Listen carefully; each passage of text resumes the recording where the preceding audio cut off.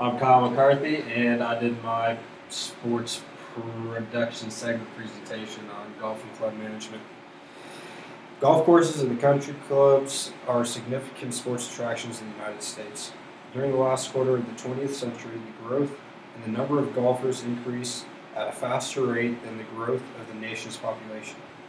The game of golf, organized with the Scottish players and founders of the Royal and Ancient Golfers Golf Club of St Andrews in Scotland. Um, the Country Club of Brookline, located near Boston, Massachusetts, is considered to be the first country club in the United States, founded in 1882. Country clubs today are basically organized and structured either according to public role and function or as private or as private club. Membership of these clubs varies depending on public or private nature of the club itself.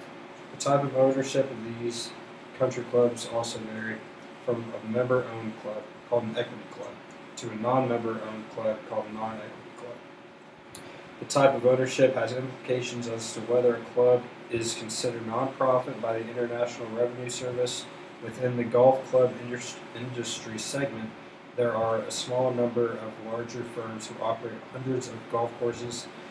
The largest segment, though, is the standalone single golf course operation.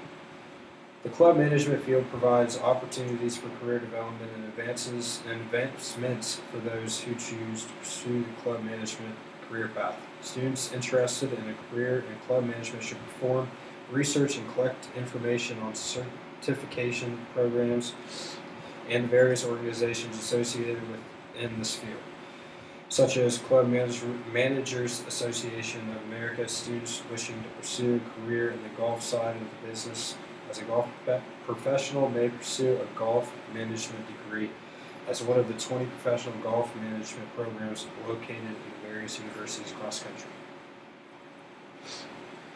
So, my overview golf is a major sporting attraction in the United States. Over in the last quarter of the 20th century, last quarter of the 20th century, the number of golfers in the country has grown from 10 to over 30 million and the game of golf was created in Scotland. There are two kinds of golf courses, public and private. There were more public courses than private courses in the United States until 1960. First Country Club was created 120 years ago. It was created to satisfy the visions of wealthy individuals who wanted to express their wealthiness. Three fifths of golf courses were built post World War I growth spread of the courses were slowed then again by World War II. From 2000 to 2008, 288 private clubs became public, 387 public clubs became private. These changes have a lot to do with the revenues, revenue issue involving individual clubs.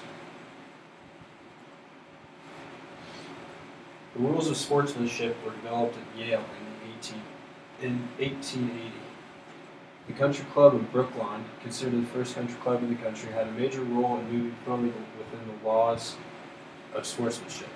Today, the Country Club of Brookline is also known for popularizing the game of golf. So there are two kinds of clubs in the golf industry. There's public and private. Public clubs are like any other business. Anyone's allowed to access their course. Um, it doesn't. They do not restrict the number of members and they can advertise at will, unlike private courses. Private courses are allowed to restrict members. New members must be accepted by the current members of the club.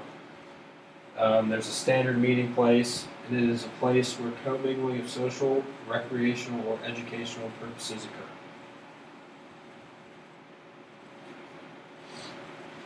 Member-owned clubs are called equity, equity clubs, usually private and nonprofit status, also known as 501c7 clubs. They receive tax breaks because these clubs are not for profit and it's ran by a board of directors. Non-member owned clubs, called non-equity clubs, typically owned by an individual or group of individuals. They're taxed as a regular business and they have an advisory board that has no authority to alter policy. The final say is in the hands of the A challenging issue is the cl- club complexity. Country clubs are ever changing venues. Employees must be educated and dedicated, and they must be able to adapt to these ever changing events in order to keep up with the organization. Um, uh, people may specialize in things such as food and beverage management, event management, sport and golf management, grounds and facility management, or club governance.